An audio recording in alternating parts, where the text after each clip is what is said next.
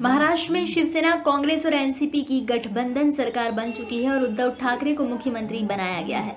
बताया जा रहा है कि यदि देवेंद्र फडणवीस की बजाय केंद्रीय मंत्री नितिन गडकरी को महाराष्ट्र का मुख्यमंत्री बनाने के लिए भाजपा का केंद्रीय नेतृत्व राज़ी हो जाता तो शिवसेना ढाई ढाई साल के फॉर्मूले को छोड़ने के लिए भी तैयार थी।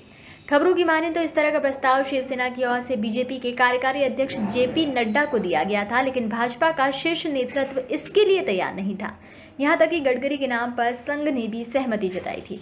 बता दें कि विधानसभा चुनाव के बाद भाजपा शिवसेना गठबंधन को मिली जीत के बाद शिवसेना मुख्यमंत्री पद के लिए अड़ गई थी, जिसके बाद भाजपा ने नितिन गडकरी को उद्धव को मनाने का जिम्मा सौंपा था। गडकरी के उद्धव ठाकरे से बात करने के बाद सहमति बनी थी कि यदि बीजेपी गडकरी को मुख्यमंत्री बनाने के लिए राज़ी हो जाती है तो शिवसेना आदित्य ठाकरे को उप मुख्यमंत्री का पद देकर अपनी शर्त छोड़ देगी।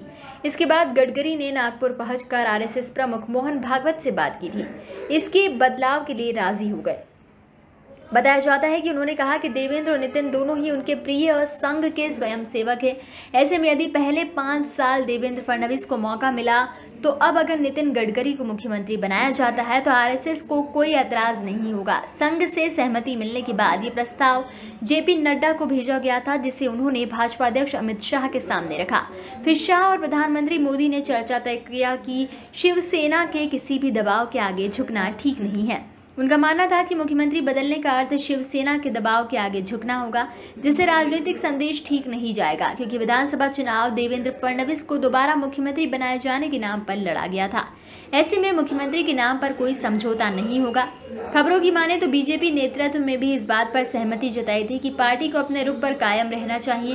विधानसभा चुनाव से पहले शिवसेना के साथ सत्ता फिफ्टी फिफ्टी फॉर्मूले को लेकर कोई सहमति नहीं बनी थी।